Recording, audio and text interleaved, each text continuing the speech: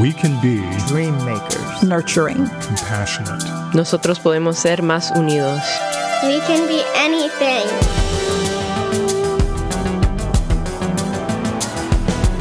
I'm Grant Oliphant. This is We Can Be. Today, our guest is Henry Timms, the executive director of the historic 92nd Street Y in New York City, the renowned cultural and community center that serves 300,000 visitors annually and engages millions more through their digital and online platforms.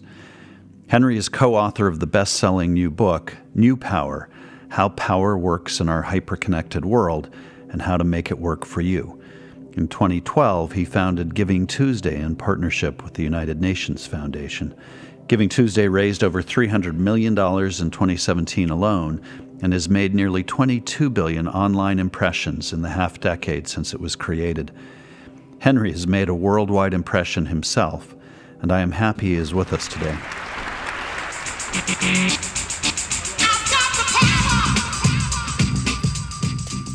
So we're here at the P4 conference in Pittsburgh to think about the four Ps, and I'm going to add this afternoon a fifth power. This ability to harness the energy of the connected crowd. This new power, if you are able to do that, you are likely to come out on top. Henry Timms, thank you so much for being here today. Oh, what a pleasure. It's a delight to both have you on the podcast, but also to have you in Pittsburgh to talk to our P4 conference, which is all about trying to help people be intentional about the future we want to create as a community. You're in the midst of rolling out a new paradigm for how people can change society in new and powerful ways, which you call new power. What is new power? The way that we think about this is new power has kind of become the essential skill of the 21st century, which is this ability to harness the energy of the connected crowd. You know, scan the world for a second and think who's coming out on top. And whether it's the unexpected election of Trump or the unexpected election of Obama, or it's these amazing movements like Me Too or Never Again, or it's the platforms like Facebook and Uber. What's constant across all of these phenomena is people are working out how to capture this energy of the crowd. And so new power is that set of skills and that phenomenon. And in our age, no matter what you're trying to do, and, and you know, here in Pittsburgh, you look at all the different efforts going on to think about what the future of Pittsburgh looks like. Those people who work out to mobilize best are likely to shape that more than anybody else. So we wrote the book to try and popularize the frame to say, look, we need to start thinking about this idea of new power and what it means. But just as importantly, to kind of lay out the skills of new power, because this is a set of skills that many of us didn't have and many of us now need to learn. So, what are those skills? So, let's just start by thinking about raising a movement. You think about kind of the skill sets of the old power world. You know, I run a 144 year old institution, and for a long time, we operated on, essentially as a download model, right? We would create content and our audiences would consume it. And that worked brilliantly well. And we still do that. And it's terrific. But there's a new opportunity now, and I go further and say a new obligation that alongside that old power model of just kind of creating content and downloading it to the world, we all have to work out how to upload the views of others. So, how do we create opportunities where people can engage in their terms in our mission? This whole generation of people who want to do more, they want to participate in their world, creating avenues for them to do that is what New Power is all about. Most of us still dwell, I think, in an old power world. And you've described a little bit already, and you do in, in, exquisite detail in the book, which I can't recommend highly enough. The things that old power gets wrong, but old power is represented by large institutions and bureaucracies, top down structures. Describe what makes old power unsuitable for the world we're living in today.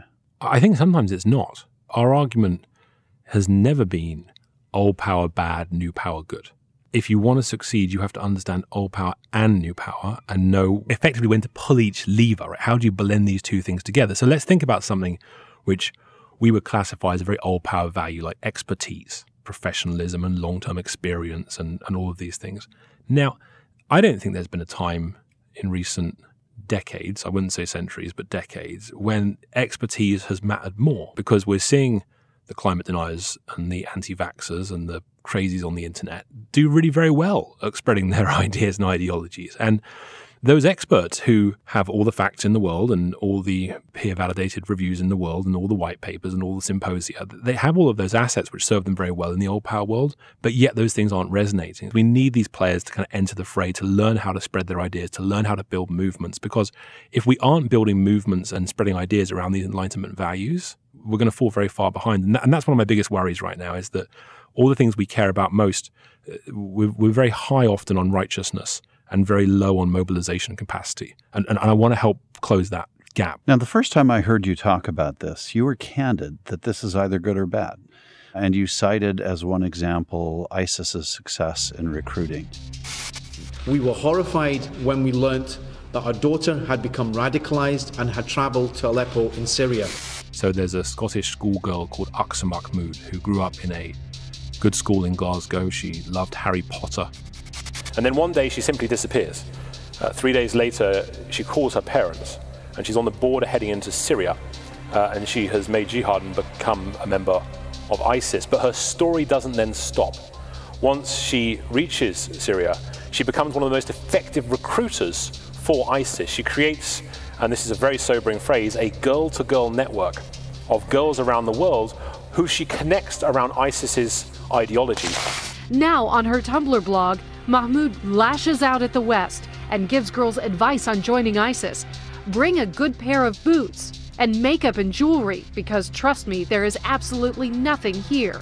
It has all of these tips for what you want to do if you want to make jihad, and she starts to connect with these girls around the world who make the same journey that she did. She's so adept with social media. Her Tumblr page is full of these kind of exciting emojis and videos and ideas. And by doing this, she she manages to influence women and girls all around the world to make the same journey. She essentially used this new technology and this new power to mobilize around a medieval theocracy and, and think about what at the same time the US State Department was doing. So at the same time, Aqsa Mahmood is spreading her ideas sideways in these very sophisticated digital ways. The US government originally is dropping cartoons from the backs of bombers over Syria and Iraq. Literally paper cartoons falling down on the heads of the civilian population, trying to influence change with a tactic that was first used in the First World War. Mm. And that's the kind of old power tactic we need to shift our mindset is that if we're still expecting that the way we influence change is our kind of top down ideas landing on people's heads and then them suddenly realizing the error of their ways, we're never going to compete with the world where the Aqsa Mahmoods of this world are working out how new power can flow in some very dangerous directions. How is it an example of ISIS being adroit at aligning her objectives with their objectives? it's perhaps the real skill of how you think about this kind of work is they were prepared to release a lot of control. Obviously, ISIS has some very clear ideas from a kind of political perspective about how they want to think about control, but she felt completely empowered to take up the ISIS message, to make it her own, to shape it in ways she wanted to. Her Tumblr blog was full of things like tips to other girls about what kind of toiletries they should bring. So she wasn't just repeating the press release that had been issued, she was grabbing this idea and making it her own. And I think that's the key insight, which is what people are looking for now. And we see this in the most successful movements, whether they're very positive or very negative. What people are looking for is a sense of agency and a sense of belonging. Now, that's not a new phenomenon, that's existed since time immemorial. But all of these new platforms and all these new tools are feeding that need, right? We all want to feel more involved. We all want to feel like we're more an actor in our times. And if those on the side of the angels, the universities, the governments, the enlightenment institutions, if they aren't providing meaningful routes to participation, then we're leaving the field open for organizations like ISIS to do it much better. In your study of movements that have been successful, is it a conscious decision for them to let go and let the movement move beyond them? Or is that an accidental thing that they just had to learn how to live with? I'm sure it's a bit of both, but I think it's a good test. And one thing we always talk about with this work is it's only a movement if it moves without you. And often people are talking about movements right now. I got served an ad on Facebook the other day by Banana Republic, which said at the top, join the movement and then it said at the bottom, buy these chinos. And like that, that's how far this movementy language is everywhere right now. Well, you do know there's no concept, no matter how sacred, that American advertising won't right? Not successfully, but well, I think that was the chinos rather than the advertising.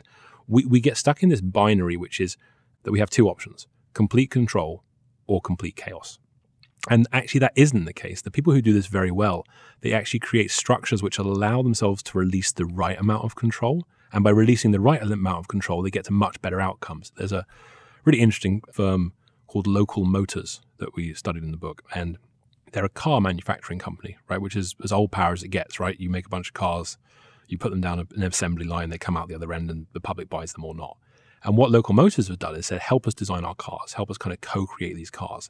They have this amazing community of people around their cars who have ideas on everything from how the wheels should look to how the bonnet should look to how the gear stick looks. They have complete engagement and, and involvement in the whole process. And they use this phrase, which I really like, which is called drawing the box tightly.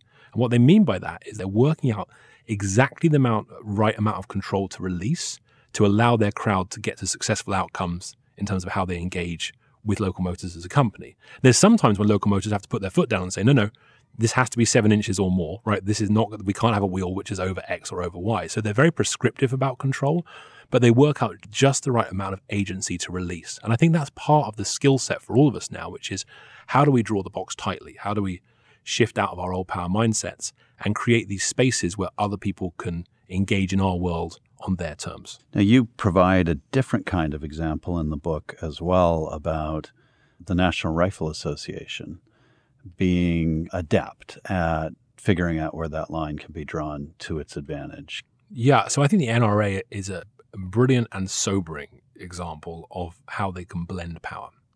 They have this terrific old power brand, right? It's feared by lawmakers. You do not want to get a bad grade. People will preemptively resign the fear around the brand is actually much greater than the reality. They're actually it's such a feared brand that they're not actually spending as much money as you might think to influence their decisions, but they've got this really good, scary old power brand. But alongside that, they've got this ecosystem of people in a very new power way who feel very engaged and very involved in their world and they have a huge amount of agency of doing things on their terms. Time and again, we'll hear the same statistics, which is, you know, 90% of Americans believe in sensible gun control. But what the NRA's new power flank is able to do is dial up this intensity. So when the phones of politicians need to start ringing, the NRA is out dialing everybody else time and time again.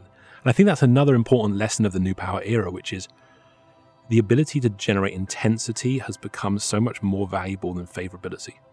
It's a very different way of thinking about success. So you think about the, the Hillary Trump election. Now, neither of their favorables were anything to write home about, right? But throughout the campaign, Hillary had higher favorables than Trump but he had much greater intensity. And so, what the NRA does so effectively is they generate real intensity through their new power wing. And, and those on the sides of gun control, for a long time, neither had the old power nor the new power.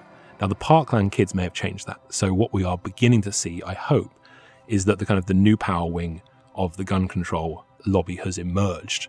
The question will now be how they relay that change to those old power actors who now need to fill the space with policy outcomes. February 14th is my sister's birthday.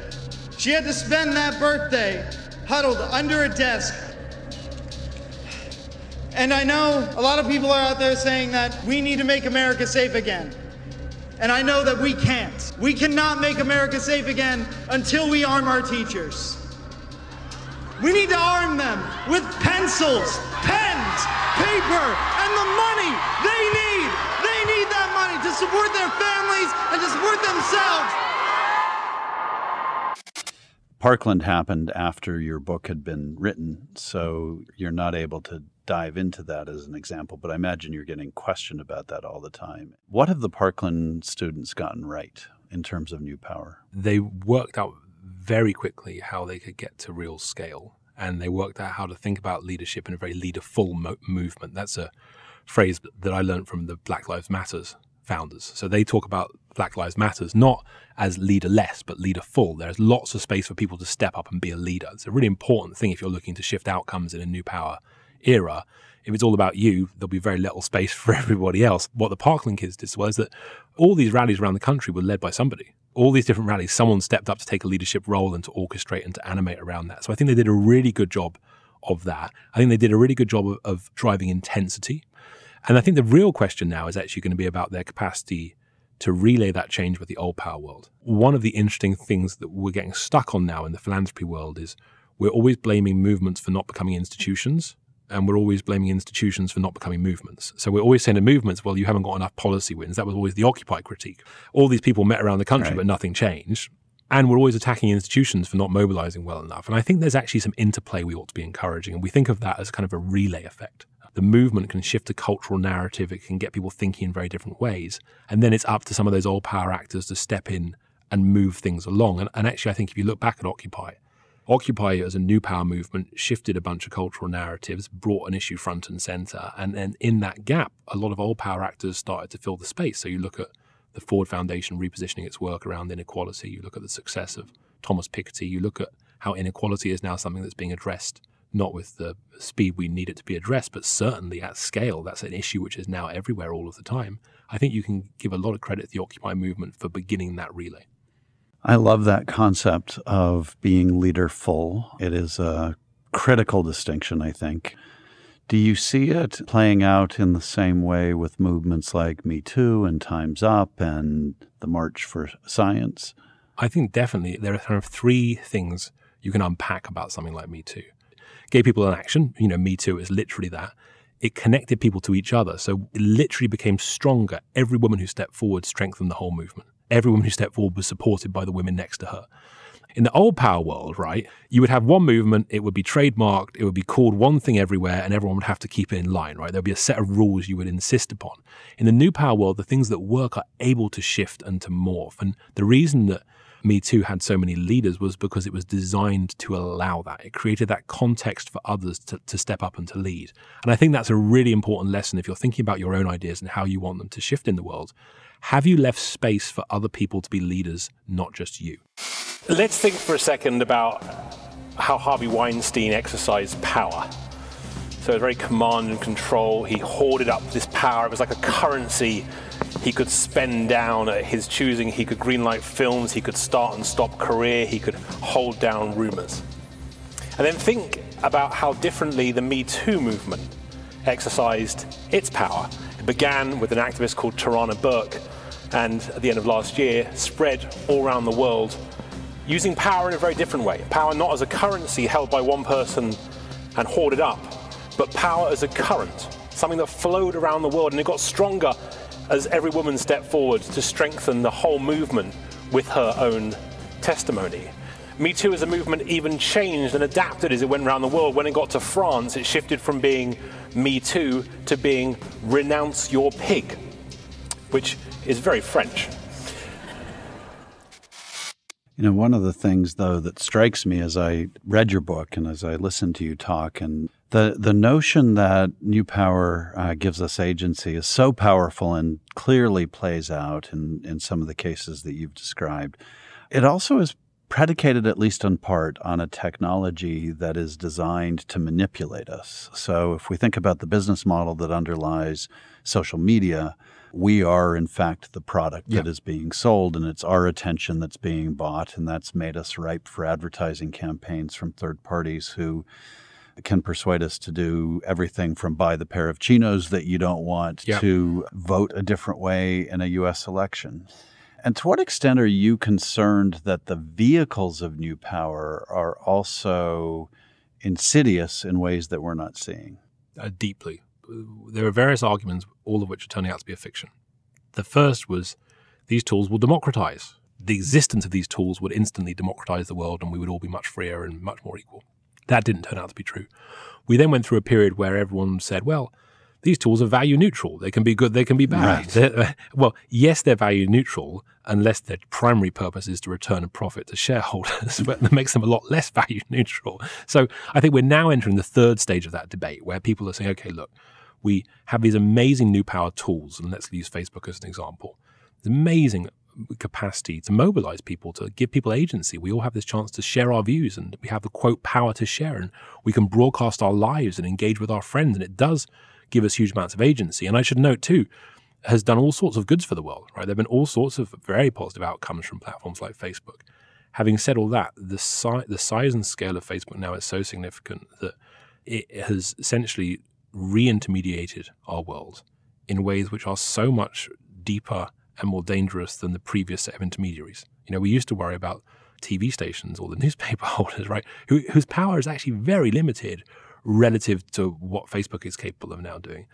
Because if the tools by which we participate skew so heavily towards private interest, then we're never going to be able to push them in the direction that society needs to push them. So I think one of the things we've advocated for is one, a lot more interoperability, which is this idea that you can take your data with you. So you don't have to stay on one platform all the time, but actually you imagine you can carry your data like you do a suitcase on vacation. You can take it around the world with you and then you can loan it out to various people. And two is this idea of a, of a public interest algorithm, which is, you know, we have a public broadcasting, we have a public interest test for media. How would you think about an algorithm which serves the public interest? How would you think about an algorithm which you could dial up and dial down, which we could see into, which we could make more thoughtful decisions about how it influences our lives? That's the next set of conversations to happen. I'm just I'm curious how you came by that. You lead a venerable 140 year old institution. And then it seems a few years ago you got religion around technology and innovation, and you launched this thing called Giving Tuesday, which became a worldwide movement and phenomenon and I think was your entree into understanding this new power world you were seeing. But how did you make that leap yourself as a nonprofit leader? I think I'd always been thinking about what was changing. That we're going to need nonprofits more than ever, and we're going to need them to experiment with new models. And that's the hardest thing. The easy thing is new technology is simply, you, you think of new technology as a way of repurposing the stuff you've always done. So you've been doing this for years, and so now you do a Facebook Live or you put it on the internet or you find some way of essentially repurposing your content. What we tried to say is okay, from first principles, how would you think about the mission of this institution if you took away all the things we've done historically? Do you ever encounter board members or others who say, This is great, Henry, but what do we get out of it? We did. And how did you answer the question? Sharply but thoughtfully. um, and the sharp and thoughtful answer is show me the bit in our mission where it says it's our job to be famous. And then show me the bit in our mission where it's our job to get credit. Those things aren't in our mission statement, and, and they aren't in the mission statement of any nonprofit. Look, I raise money in New York City, so I'm not naive about this. I understand that we have to have a brand. I understand that we've got to be able to persuade people we do important work. But I do think as a sector, we have overly biased brand over mission. And I think the dirty secret of that is let's not worry about our logo. Let's just get on and do as much good work at scale as we can. And if we do that good work, then the benefits will come back to us anyway. Because the funder who you really care about doesn't care whether you really get your logo on things. They care about whether you're having impact. And, and whether whether we get credit for that impact or not is of no interest to me. We certainly had those conversations at board level, which were people, you know, trying to work out how we were navigating this world. Yeah. But that shifted now because I think what people have realized is that we, we made a trade, and the trade was we can get to a scale by having a kind of new power wing of the 92nd Street Y these programs will get to a scale we would never have got to before.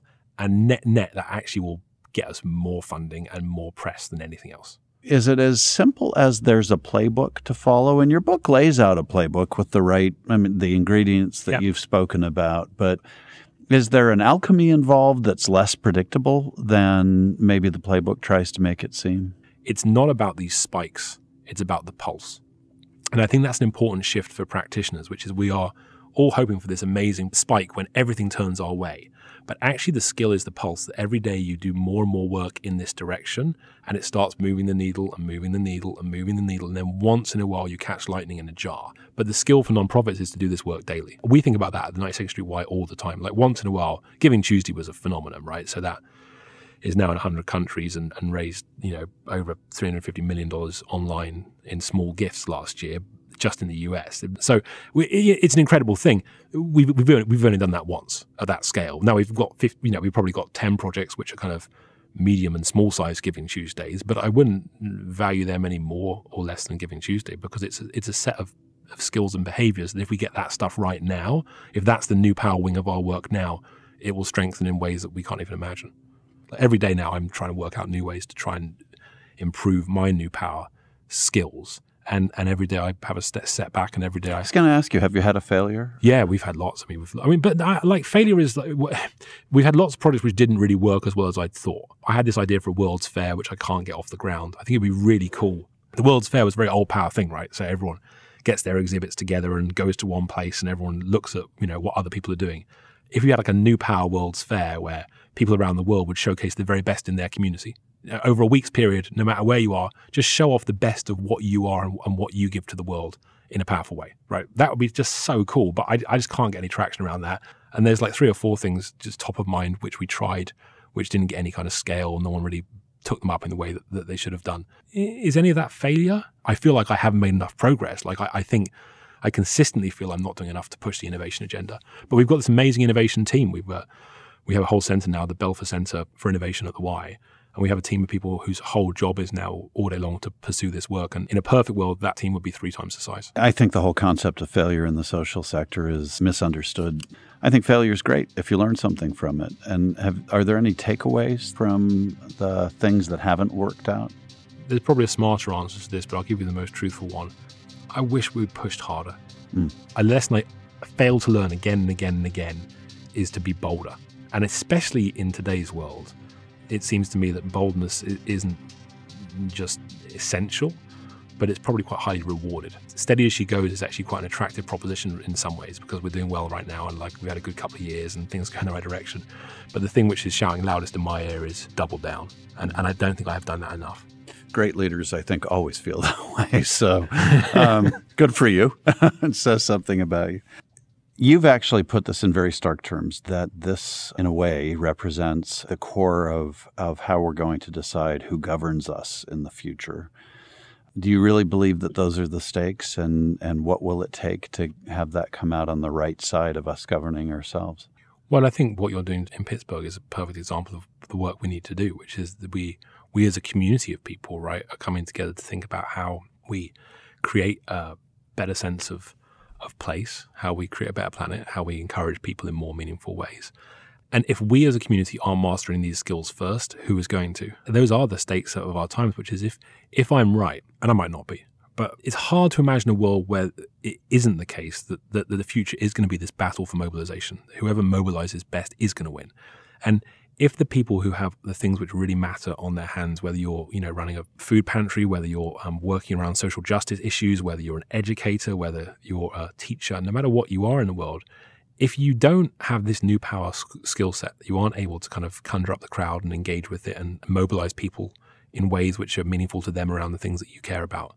We're going to see a lot of other people jump in and push aside the things we care about most. And, and I, I think we've seen that already. And I do think the stakes are very high. So I think there's kind of two big prescriptions. We have to think differently about platforms because from a political perspective, platforms have so much power now. But all of us as people need to get these skills into our hands and quick because those on the side of the angels need to get mobilizing. That's a lovely note on which to end. I just add the name of this podcast is We Can Be, and I'm curious how you would complete that sentence we can be joyful. One of the things I always talk about a lot of the work of all this work that we do is it has to be joyful. The front, on the front of the 92nd Street Y, the very first word they put in 1929 was rejoice. And I think we do our best work and we are our most complete as human beings once we are able to be joyful. Now, there are lots of steps on the way to joy. There are lots of things you have to address first, which are critical issues. But on our good day, I think all of us can create a world that feels more joyful, and I think we can be that. While rapidly advancing technology has a well documented capacity for evil, the new power dynamic that Henry believes so passionately in also offers enormous opportunity to influence positive change. Our collective task will be to ensure that this new power is used to fully engage with the challenges of our most vulnerable. With Henry Timms as an enthusiastic leader in this still unfolding realm, I am hopeful that together we can indeed use this new power for the good of all.